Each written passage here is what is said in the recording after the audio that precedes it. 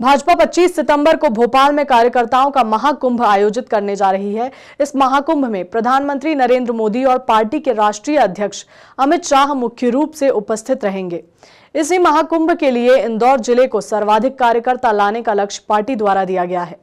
इसके लिए 14 सितंबर को मंडल स्तर पर बैठक होगी और 17 सितंबर को बूथ स्तर पर बैठक करके कार्यकर्ताओं को महाकुंभ के लिए तैयार किया जाएगा। ज़्यादा से ज़्यादा संख्या जुटाने के लिए पार्टी ने कड़ी मशक्कत शुरू कर दी है।